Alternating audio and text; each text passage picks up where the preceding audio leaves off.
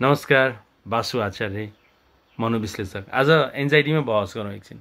यो एन्जाइटीको बहसले अब आइडियासहितको बहस होस् आज चाहिँ। आज चाहिँ लक्षणहरू थाहा भयो त्यसले कतिको प्रभाव पर्छ पनि थाहा भयो। के के फिचरहरू आउँदा रहेछन् थाहा भयो। कारण पनि नर्मल्ली थाहा भयो धेरै भिडियोहरूमा आइसके। आज यसको स्ट्राटेजी रणनीति कसरी बनाउन सकिन्छ त्यो अलिकति बहस गरौँ। हामीले स्ट्राटेजीहरू बनाउँदै गर्दा मुख्य मुख्य जान्नुपर्ने कुरा भनेको चाहिँ मैले यसलाई कसरी लिने एन्जाइटीलाई सुरुमै कसरी ग्रहण गर्ने? एन्जाइटीलाई लिएर म के बुझ्ने? मेरो बुझाइ मिल्यो कि मिलेन? मेरो बुझाइ मिलेको छ कि छैन? मिलेको छैन भने मैले न नमिलाएसम्म मेरो पीडा मिल्नेवाला छैन यो बुझ्ने। सबभन्दा ध्यान दिनुपर्ने कुरा नर्मलाइजिङ भनेको त्यो विषय सामान्य हो नै बुझ्ने। जे भोगिराखेको छ सामान्य हो बुझ्ने। सामान्य कसरी सामान्य? त्यो गाह्रो भइरहेछ। र पनि सामान्य। कस्तो आपत्तै पर्छ। त्यो पनि सामान्य। सामान्य भन्न सजिलो छ आफूले भोग्नलाई कति गाह्रो छ। त्यो गाह्रोपन चाहिँ त्यो त्यसलाई डिल गर्न नजानेर अथवा नसकेर अथवा कुनै पनि कसै कसै कसैलाई चाहिँ न्युरोकेमिकल लिने बायोलोजिकल साइकोलोजी अन्तर्गतको न्युरोकेमिकल भन्छ क्या मस्तिष्कमा रहेको न्युरोकेमिकल अथवा कुनै कुनै हर्मोनको डिसब्यालेन्स कुनै इन्टरनल फ्याक्टरहरू केही कारणले चाहिँ उसलाई असहज भएको हुनसक्छ। तर प्राय चाहिँ यो एन्जाइटीलाई बनाएको आफ्नो मिनिङ आफ्नो इन्टरप्रिटेसन र आफ्नो एक्ज्याक्जरेट गर्ने पक्षले गर्दाखेरि त्यो असहज बढेको। अलिकति बुझ्दै जान थालेपछि अलिकति विषयवस्तुलाई घुमाउन जानेपछि अलि एन्जाइटीहरूलाई डिल गर्ने स्ट्राटेजी सिक्न थालेपछि त्यो असहज पनि बिस्तारै घट्दै जान्छ। जसलाई चाहिँ हामीले अहिले साइकोलोजिकल सपोर्टको अन्तर्गत चाहिँ के गर्ने त भने त्यसलाई सामान्य बनाउन ट्राई गर्ने। लक्षण सामान्य। त्यो भइरहेको छ त्यो एन्जाइटीमा हुन्छ। डर लागेर कस्तो गाह्रो बोक्छ एन्जाइटीमा गाह्रो त हुन्छ त सामान्य कुरा हो। त्यसले केही गर्छ कि गर्नलाई केही गर्दैन। केही आपत पार्दैन केही रुवाउँदैन केही विक्षिप्त बनाउँदैन केही सिद्ध्याउँदैन। तर गाह्रो हुन्छ कि भन्ने हुन्छ। कतिलाई चाहिँ त्यही गाह्रोलाई चाहिँ गाह्रो मानेको हुन्छ। त्यो कुरा बुझ्ने। हामीले सामान्यतया हाम्रो सिचुएसन छ हाम्रो एन्जाइटी हिसाब कम्पेयर गरेर हिसाब गर्ने। मेरो परिस्थिति सामान्य छ? यसो अन्दाज गर्ने। सामान्य छ? होइन छैन कि क्या हो परिस्थिति? सामान्य छैन जस्तो लाग्छ मलाई। मलाई लागेको मात्रै हो कि? कि मलाई त धेरै लाग्छ यस्तो कुरामा किनभने म त प्रब्लममा छु। प्रब्लममा भएपछि सामान्य कुरालाई नै अति लाग्छ। यसो बुझौँ त मैले लागेको कुरा यसो यसो हेल्दी कम्पेयर गरौँ अरू अरूकोतिर यसो एनालाइसिस गरौँ विषयवस्तुहरूलाई अल्टरनेटिभ हिसाबले पनि विश्लेषण गर्न ट्राई गरौँ। त्यो पर्सपेक्टिभहरू क्या अरूले कसरी बुझ्छन् त? मैले जे भनिरहेको छु उनीहरूले के सोध्छन् त? ठिकै हो त मेरो कुरा? भन्दा यिनीहरूले मान्दैनन् कि? सबै म अन्दाज गरौँ न। भनेर हिसाब लाउँदा एन्जाइटी भनेको आफ्नो चिन्ता र सामान्यतया परिस्थिति तुलना गर्दा चिन्ता मात्रै फकटको बढी हुन्छ परिस्थिति केही भएको हुँदैन। हार्ट एट्याक हुन्छ कि भन्नेको छातीमा केही भएको हुँदैन। मलाई कसैले माया गर्दैनन् भन्नेको सबैले माया गरिराखेका हुन्छन् सामान्यतया। म केही गर्न सक्दिनँ भन्नेको उसको क्षमताअनुसार उसले गर्न सकिराखेका हुन्छ। घटना परिघटनालाई आफूले अना अनावश्यक रूपमा अतिरञ्जित गरेको मात्रै हुन्छ। अनि एन्जाइटीको हकमा के हुन्छ भने ब्रेनले इन्टरनल मेकानिजमले विभिन्न मेकानिजमले चाहे न्युरोकेमिकल लिभो विशेष गरी साइनाप्स भन्छ क्या त्यो त्यसले हामीलाई इलेक्ट्रिकल फायर गर्दाखेरि त्यो इमोसन रेगुलेट राम्रोसँग नभएको कुराले गर्दा ब्रेनको रेस्पोन्स अलिकति बढेको कारणले अलिकति अलिकति त्यो त्यसले गर्ने रेस्पोन्स चाहिँ अलिक बढी हुन्छ र त्यसले गर्दा हल्का असहज बनाइन्छ। त्यसपछि हाम्रो मिनिङ हाम्रो इन्टरप्रिटेसन र व्याख्याले त्यसलाई ओभर रियाक्ट गर्छ। अलिकति चुसक के भइदिया हुन्छ। ल अलिक बढी नै भइदियोस्। ल पेस लेभल अलिक बढी नै छ अरे। त्यो व्यक्तिको आत्तिन सक्ने क्षमता अलिक बढी नै छ अरे। भने अलिकति बढी छ उसको आत्तिने क्षमता तर उसले त्यसलाई झनै अत्याइदिन्छ र बढाइदिन्छ।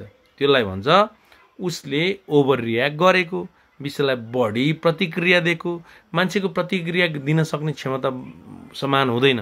कसैको सानो कुरामा बढी प्रतिक्रिया दिन्छ कसैको ठुलो कुरामा सामान्य प्रतिक्रिया दिन्छ। कसैको जत्रो रेस्पोन्स त्यत्रो स्टिमुलस त्यत्रो रेस्पोन्स कसैको चाहिँ स्टिमुलस सानो हुन्छ रेस्पोन्स बढी हुन्छ। कसैको चाहिँ स्टिमुलस र अराउजल ठुलो भयो भने रेस्पोन्स यति हुन्छ। त्यो त्यो चाहिँ आफूले बुझ्दैन क्या उसले। मैले बढी प्रतिक्रिया दिइरहेको छु। यो अलि बढी भयो यति साह्रो त कहाँ हुन्छ र? भनेर बुझ्दैन। बुझे पनि मान्दैन। माने पनि एकछिनपछि फेरि आपत परेपछि होइन होला। यो होइन होइन म यो अरू नै केही हो भनेर बुझ्छ। त्यसलाई जोड्दा सिम्टमलाई लिएर आएका लक्षणलाई लिएर कुनै पनि क्रिया प्रतिक्रिया नदिने कुनै पनि मिनिङ नदिने त्यसलाई केही ठान्दा नि नठान्ने त्यसलाई केही मान्दा नि नमान्ने त्यसले केही गर्दा नि गर्दैन त्यसले केही हुँदैन हुँदैन त्यसले गर्ने भनेको बस एउटा काम गरिदिन्छ। फिलिङ्समा एफेक्ट गरिदिन्छ। भावनामा आपत पारिदिन्छ। त्यसले अलिकति बिहेभियरमा दैनिकीमा अलिकति असहज बनाइन्छ। त्यसले गर्दा क्वालिटी अफ लाइफमा डिस्टर्ब गरिदिन्छ। त्यति हो गर्ने भनेको।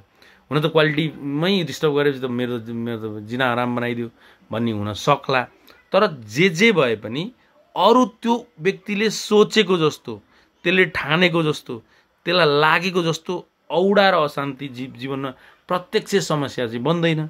उही फिलिङ्समा समस्या पाउँछ उही सम्बन्धमा बि बिहेभियरमा उही उसको उसको दैनिकीमा आपत पर्ने भन्ने हुन्छ। त्यस कारण के बुझ्ने? यसले मरिँदैन बौलाइँदैन बेहोस हुँदैन केही घटना नि घट्दैन केही आपत नै पर्दैन कतै केही शुभ सङ्केतै दिँदैन उही पर्छ कि हुन्छ कि बर्बाद हुन्छ कि यता यता कि जोडिन्छ खालि इफ यदि जोडिन्छ इफ जोडिन्छ यस्तो भयो भने के होला भन्ने जोडिन्छ डट डट जोडिन्छ अनि एक्सप्लामेसन आउँछ घरि क्वेसन मार्क्स आउँछ क्वेसन मार्क पूर्ण विरामै आउँदैन घरि कमा आउँछ टक्क यो यति हो फाइनल चाहिँ पूर्ण विराम दिनु पर्ला उसलाई पूर्ण विराम दिनै डर लाग्छ। होइन त्यसपछि पनि केही छ होला। किनभने त ब्रेनले त भनिसक्यो। अब यसलाई ब्रेनले त रेस्पोन्स दिइसक्यो। के भन्छ त्यो रेस्पोन्सलाई त मैले केही न केही त प्रतिक्रिया दिनुपर्छ। ब्रेनले दिएको रेस्पोन्सलाई मैले केही पनि प्रतिक्रिया दिनु पर्दैन यो मेरो एउटा सामान्य एन्जाइटीकोमा छु। त्यस कारण अलिअलि काचाकुचुक भएको हो। यसलाई मैले मिनिङ दिनु नदिनु चाहिँ सोल्युसन हो भनेर बुझ्दैन। मैले अर्थ चाहिँ लाउनु हुँदैन भनेर बुझ्दैन। मैले र अर्थै लाउनु पाइँदैन। मैले केही भन्नै पाइँदैन ठान्नै पाइँदैन मानिहाल्छ। त्यसलाई मिलाउने अब। त्यसलाई च्याप्पै समाएर ए होइन बाबु यो जान्ने नहो भने बुझ्नु है एन्जाइटीमा यो हुन्छ। जर्नलाइज गर्दै नै हुन्छ यो विषयमा चाहिँ। अँ यो हुन्छ यस्तै हो। किन एन्जाइटीमा यति नै नभए त के हुन्छ त नि? यति न त्यो एन्जाइटीमा त एन्जाइटी लक्षणै त चिन्ता पिर डर बेचेन घबराहट हो। त्यसले गर्ने अलिकति आराम गर्न नसक्ने स्थिति हो। एन्जाइटीको लक्षण हो त नि हो। भनेर नर्मलाइजिङ फ्रम स्टार्ट भन्छ सुरुबाटै सामान्य बनाउँदै सामान्य बनाउँदै लाने नत्र यतिबाट यति यति यति यति यति यति हुँदै अनि गाह्रो भइदिन्छ। बुझ्ने? त्यो आफूले ट्राई गर्ने। त्यसपछि त्यो आएका सबै सोचहरू छ नि त्यो आफूले सोध्छौ नि। यो हुन्छ कि त्यो हुन्छ कि यो भयो होला त्यो भयो होला यस्तो भयो भने के हुन्छ त्यस्तो भयो भने के हुन्छ। त्यसले यसो बुझ्यो होला त्यसले यसो त्यसो बुझ्यो होला। यो यो यो हुने सम्भावना देख्दैछु म। त्यस्तै मलाई लाग्दैछ मलाई त्यस्तो फिल आउँदैछ। यी सबै कुरालाई समात्दै पछार्ने। होइन। मैले भनेको मिलेन भन्नु ट्राई गर्ने।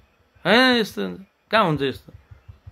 म रङ छु भन्नतिर लाग्ने। मैले मेरो इन्टरप्रिटेसन मिलेन भन्नतिर ट्राई गर्ने। त्यो प्रतिको मैले मैले बिलिफ मिलेन भन्ने ट्राई गर्ने।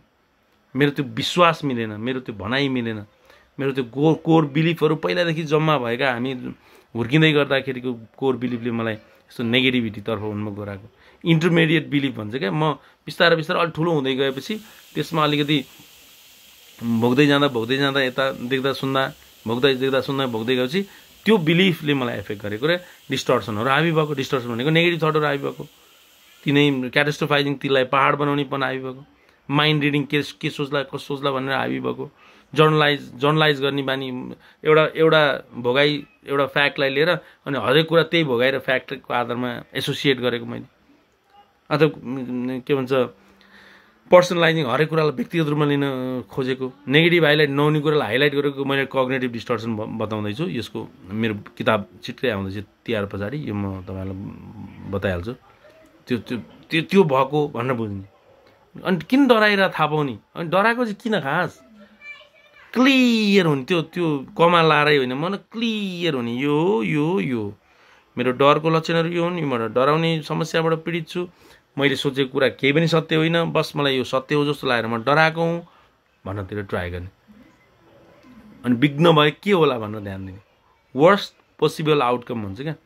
विघ्न भए के होला? केही पनि हुँदैन। भन्छ भने नदेखा जाएगा। त्यो पनि कहाँ हुन्छ र सोध्नु न एकचोटि। मलाई यस्तो भइरहेछ मलाई के हुन्छ त? भनेर आफ्नो मन परेको मान्छेलाई अथवा कुनै विज्ञलाई अथवा कुनै यो विषयको चासो दिनेहरूलाई सोध्नु मलाई यस्तो भइरहेछ यो हुन्छ त? उसले भनिदिन्छ हुँदैन। तिमीलाई के थाहा छैन? आफूलाई यस्तो भइरहेछ तिमीलाई के थाहा र? भन्ने होइन। ए उसले सही कुरा हो भनेर भने हो भनेर बुझ्ने। त्यस कारण त्यो वर्स्ट पोसिबल आउटकमको तर्फ पनि खास केही वर्स्ट हुनेवाला छैन। सबै बेस्ट हुनेवाला छ।